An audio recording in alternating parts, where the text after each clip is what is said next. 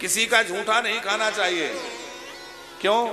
क्योंकि जैसे गुण उस व्यक्ति के होंगे, जिसका झूठा खा रहे हो, उसके जैसे विचार होंगे, जैसे उसमें गुण होंगे, वैसे आप में भी आ जाएँगे। इसलिए व्यक्ति को किसी का झूठा नहीं खाना चाहिए। एक जगह हम गए तो वो यजमान के हाँ उनका छोटा सा बच्चा अपने दादाजी के साथ भोजन के थाली पे बैठ गया। तो उन्होंने इशारे से कहा हटो उनके साथ मत खाओ। हमने बाद में पूछा कि क्या बात है? आप बच्चे को रोक क्यों रहते रहे अपने दादा के साथ बैठा है, खा रहा है। अरे, बोले वो दादाजी को, बाबूजी को जो है, कोई संक्रामक बीमारी है, वो ऐसी बीमारी है कि कहीं बच्चे में ना आ जाए। इसलिए हमने कहा कि अलग रहो। थोड़ा हम दूर रखते हैं। तो हमारी समझ में आया कि बीमारी में जो कीटाणु होते हैं वो तो ऐसे हैं कि सूक्ष्मदर्शी आदि यंत्रों से उन्हें देखा जा सकता है।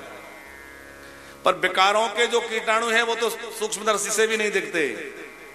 तो भैया, किसी का झूठा खाने से वो बीमारी जो संक्रमित रोग है, वह आपको लग सकता है। तो किसी का झूठा खाने से उसके अंदर के दोष, उसके अंदर की बुराइयाँ आपके अंदर भी आ सकती हैं। इस बात को खूब समझ लिया इसलिए हर किसी का झूठा खाना नहीं चाहिए।